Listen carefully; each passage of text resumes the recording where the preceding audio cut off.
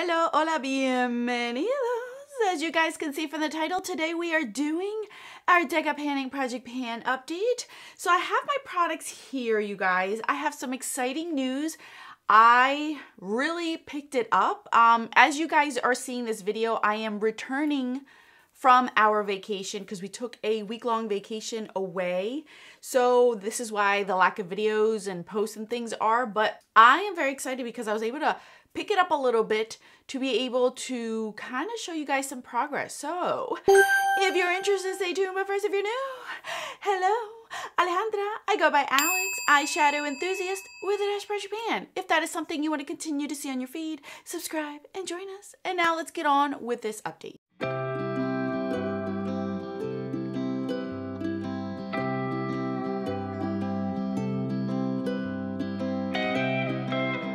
Now, as usual, you guys know everything you need to know about this project pan will be down in the description box. Every little detail you need to know. So I have my, uh, what is it, five, pro no, uh, maybe five. One, two, three, four, five. Yes, five products. So let's go ahead and get started on the first prompt. And that was a, a black queen that represented another project pan. I did the lip service project pan. I believe that's what it's called. I finally got it after I have this. So I rolled in this. This is the Chantecaille uh, Beach Tint in uh, Beach Rose. Beautiful product. Loved it. So I will show you guys where I was. I did take a photo of where I was.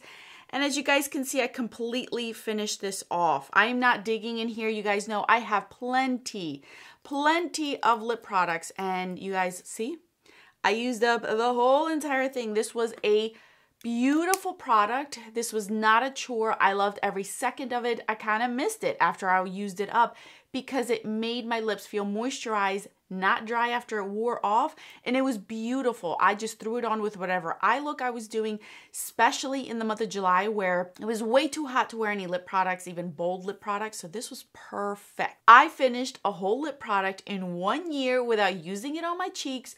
Who am I? I don't even know.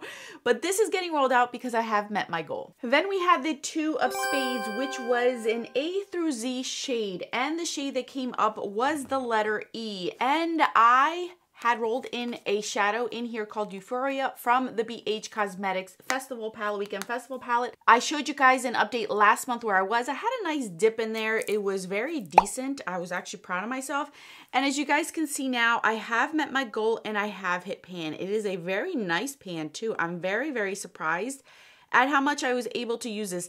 This was a shadow that I layered with a lot of other shadows. It was a base or a mixing shadow. I am not a fan so much of these kind of yellow gold, but it worked out perfectly fine because it rolled in in the summer. So I was able to finagle and layer it and manipulate it so I can get use out of it. This took a long time. I mean, this was dedication two months worth of it being in here and constantly incorporated in any look that I did but I was able to hit pan on it and I'm very proud of myself. So this is also getting rolled out. All right, so the next three prompts are the new ones that I've had. Uh, the Three of Hearts was a spray product. For that, I rolled in the Bumble and Bumble Surf Spray Sea Salt. You guys, I was able to finish this off. There is a little bit in here, but it's not coming out. I was on the fence about this product. It did make my hair look like a beachy hair, but I have lived near the beach near the ocean my whole entire life, so I know what a beachy wave is because when I go to the beach and I go in that water and my hair dries out, it gives me a beautiful beachy wave. Like the ocean does a very good job of giving me a beachy wave. This one, I don't know. I kind of felt like it was a stretch. Kind of looked like it was like, eh, I'm there, but I'm not there. I'm trying to give you a beachy wave, but I'm not trying to give you a beachy wave. I don't know. I wasn't really liking this product, to be honest with you, but I did finish it off and I was able to use it. So that's that. This is also getting rolled out. I rolled in next was a Black King, the newest product. And for that, it was this palette right over here. This is the Nabla Read My Mind palette. And my goal was to use each shadow one time, you guys. And I was able to do that. Oh my goodness, you guys. No surprise that this is such great quality. No surprise that this some shades were wow. Um, I was like, wow. These two shadows here, absolutely adored. This one is a multi-chrome. This is like a pink on here, but it has gold and green shift to it. It is so pretty. I don't think the camera can kind of give you an indication of what it is. So beautiful on the eyes. Holy crap, I loved it. These mats, a beautiful mat. This one was really, really pretty sheer, but you can build that up.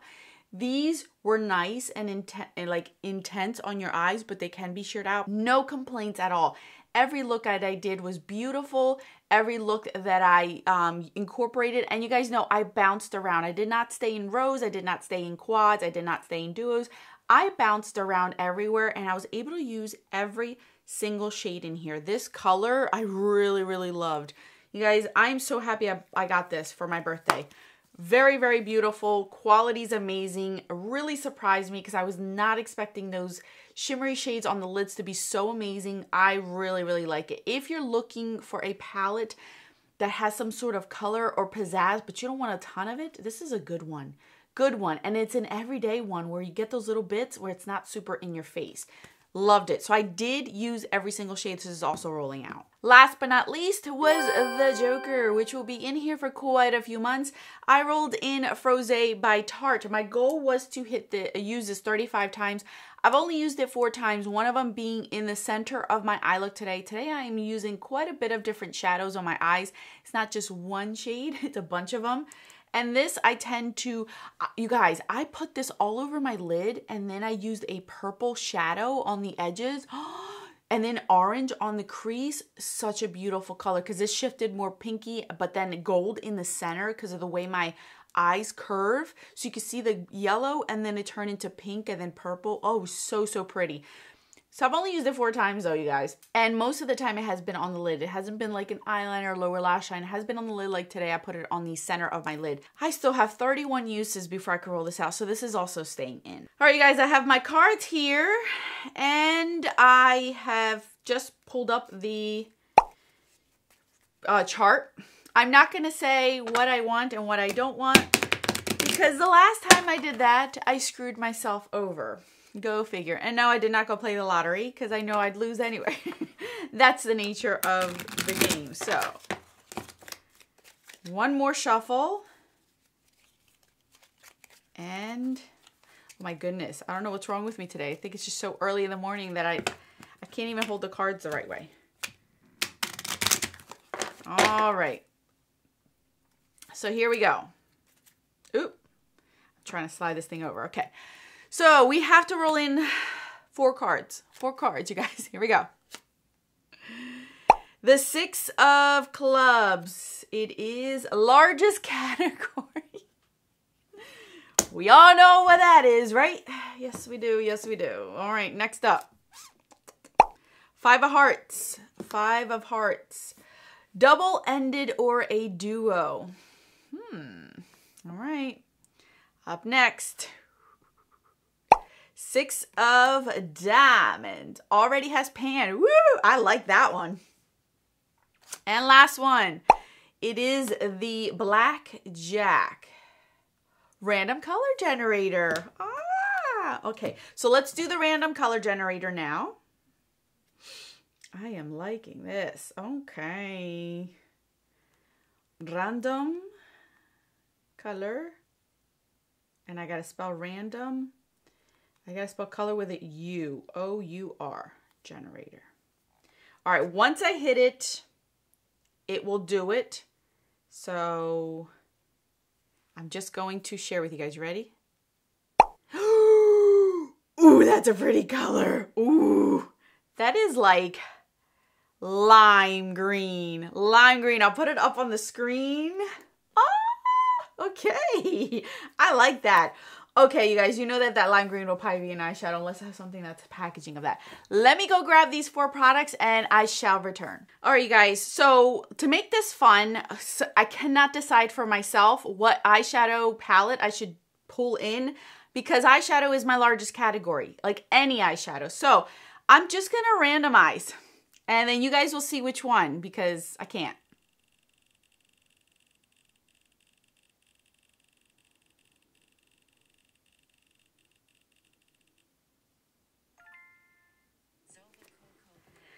Zoeva Cocoa Blend. All right, so let me pull that out and then I'll share with you guys the rest of the of the products that I pulled in. All right, you guys, so let's start out that because I that that one with the largest category, you guys know it's eyeshadow. I just could not decide. I kept going back and forth on what I wanted to do. So for the first prompt was this six of club, which was the largest category. As you guys know, if you follow me for any length of time, it is eyeshadow.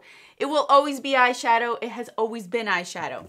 So you saw randomly that I chose the Zoeva Cocoa Blend. This is an eyeshadow palette that I have never used, but it is perfect because I actually do like this and I think it'll be fun for this time of year.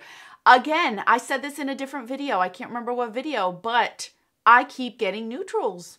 I'm always rolling in neutral shades. At least the whole entire summer I have been, so I'm okay with it. I think my goal is to use every shadow one time, at least one time in the, so the whole palette can be used. That's my goal for this one and then I can roll it out. The next prompt that we got was the five of hearts, which was double-ended or a duo. Okay, so I don't have many things that are double-ended. I think I have one thing that's double-ended and I did not care to use that. So I had to find something that was a duo that was an eyeshadow. So I'm bringing this in. This is my NARS uh, Dual Intensity Blush in Frenzy. So this is what it looks like. It brings a highlighter and a blush, and this is perfect, again, for this time of year because it is an orangey base, and this is such a beautiful formula. I have already used this many, many times, so I already know how the formula is, and I think it will be really, really beautiful for this time of year. So my goal is to use this 10 times it doesn't matter which side, I gotta use it 10 times. Alrighty, the next one was the Six of Diamonds. Six of Diamonds was something that already has pan. This is something that ha I had pan on it over a year ago and I never brought it into any other project pan, so I think this is the time to bring it in. This is my Quo Mega Highlight Duo. This is also another duo.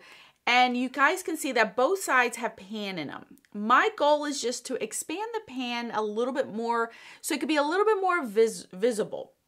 I, I, I don't know how to measure that because it's visible but not too visible. Like there's a white side and then there is a cool, like a yellowy side. If I mix both of them is what I have always done because one's too light, one's too yellowy. Like that's what it would look like mixed. I don't know if you guys can see the difference in that. But I think I just want to expand the pan on both ends just to show the pan a little bit. And it's a little waffle pan in the bottom. So I just want it to be a little bit more visible. That's my goal on this one. So I guess that's according to what I consider to be visible. But I will take a picture of it so that way I can see with the next update if it does pass the test of being more visible. And last but not least was the random color generator, you guys. And I got a nice, beautiful lime green. Oh, my favorite color, green. Okay, you guys, I had the perfect product. As soon as I saw the color, I knew exactly what I wanted. And the thing is, I was this close to decluttering this while I did that major declutter. But the reason why I did not was because it was so unique. You saw how limey green this is, so I kept it because this is the only shade I have of anything in that. Look at it. It is perfect. And I was going to declutter and I said, no, you know what? I, I really would want to keep it. This is a Beach Cosmetics pigment. This is, I mean, I'm talking years ago when they had pigments out. This is the color Bounce. And I have used it, so it's not like I have not used it. You can see it right there. It is exactly what I think the color that came out is. Look at that. Whoo! My goal is to use this 10 times. 10 times in any way, shape, or form. I have been getting so many neutrals of everything. I had to bring in this. This, because this is the only time of year I'm going to use it. So why not get use out of it? And it is very unique. And I haven't been able to find this shade again. I have to find an indie brand to, to locate this kind of color, but it's very unique to my collection. So I want to use that one 10 times. All right, you guys. So what do we think? Um, I don't think I will be rolling out the Froze anytime soon, so that's still going to hang around. I think I will meet my goal on this palette, possibly this one, and this one if I really, really couldn't put it in every look for at least 10 looks of it. This one, I don't know. We got to see. We got to see because I do have a highlighter in here. I don't know. We got to play around with it. This round was actually really nice. I really liked it. I got prompts that I haven't really gotten before, so is nice. Except for the color generator I have, but anything else I haven't gotten. So I'm very excited, you guys. Thank you guys so much for watching. We avoided the Joker yet again. I know you guys gave me the probability of me getting the Joker. Let's hope that I'm done with the Joker for at least another year or so. so anyway, thank you guys so much for watching. More videos on the screen for your enjoyment. Until then, adios.